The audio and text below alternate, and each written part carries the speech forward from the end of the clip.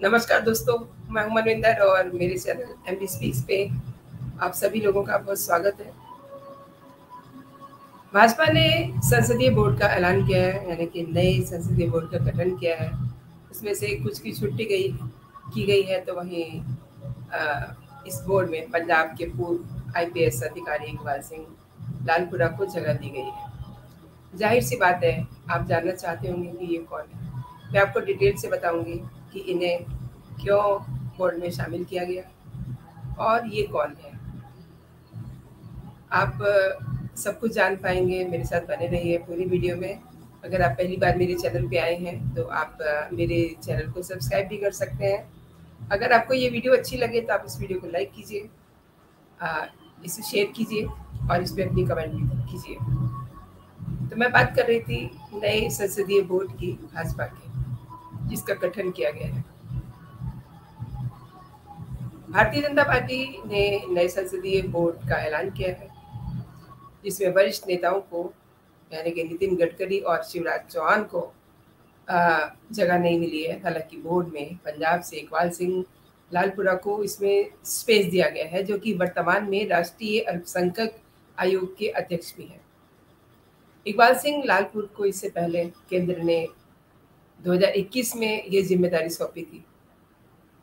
भाजपा के नए संसदीय बोर्ड में शामिल किए गए इकबाल सिंह लालपुरा राजनीति में आने से पहले एक आईपीएस ऑफिसर थे और लालपुरा ने पुलिस विभाग में काम करते हुए एसएसपी अमृतसर एसएसपी तरन और इसके अलावा महानिरीक्षक सीआईडी अमृतसर के रूप में काम किया था। रिटायरमेंट के बाद लालपुरा राजनीति में आ गए और 2012 में वो भाजपा में शामिल हो गए थे। इकबाल सिंह लालपुरा का पुलिस विभाग में बहुत बड़ा इकबाल है। लालपुरा की गिनती पंजाब के बड़े सम्मानित पुलिस अधिकारियों के रूप में होती है। इसकी बहुत सारी वजहें हैं। लालपुरा ने पंजाब में उन दिनों बहुत काम किया था जब प्रदेश में आतंकवाद चरम पे था। उन्होंने अपने कार्यकाल में राष्ट्रपति, पुलिस पदक, मेधावी सेवाओं के लिए पुलिस पदक, शिरोमणि सिख साहित्यकार पुरस्कार पुरस्कार, सिख विद्वान पुरस्कार सहित कई सारे पुरस्कार अपने खाते में जोड़े। इकबाल सिंह लालपुरा उन तीन अधिकारियों में से थे, जिनका नाम उन्नीस सौ इक्यासी में खालिस्तानी उग्रवादी जनरल सिंह भिंडावाले को गिरफ़्तार करने में गिना जाता है।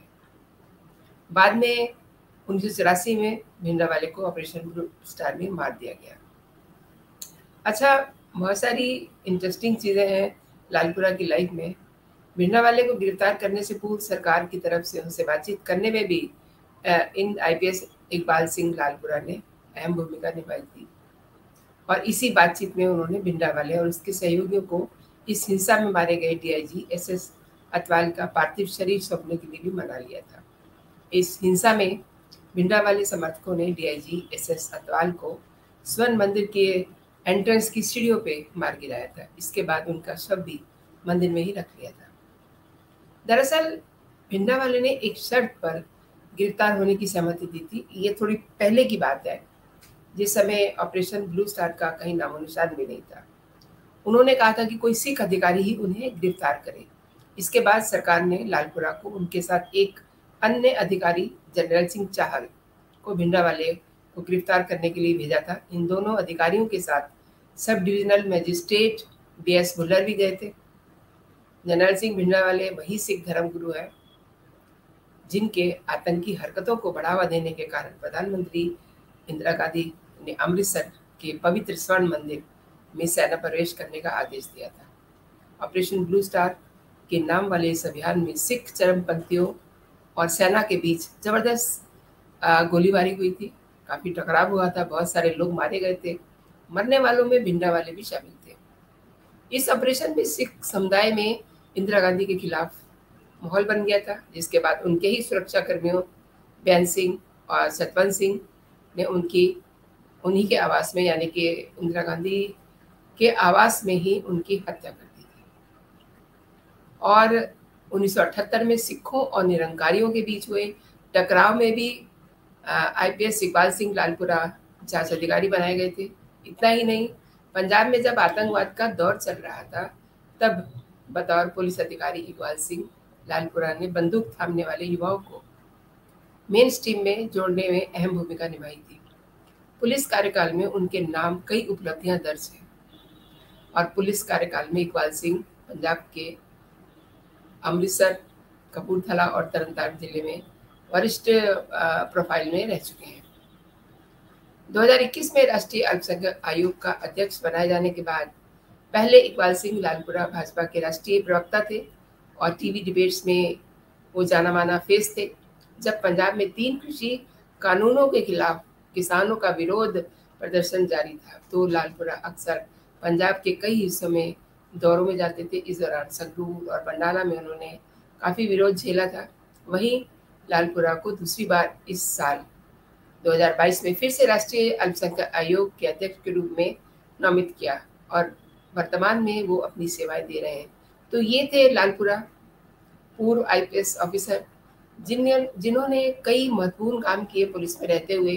और सबसे बड़ा काम तो ये था, जो उन्होंने ऑपरेशन ब्लू स्टार से पहले जो उनको सौंपा गया था, वो ये था कि उनको गिरफ़्तार किया जाए, उनसे बातचीत की जाए। और इसी बीच अतवाल की हत्या हो गई थी। उनका शव आतंकवादियों के पास था।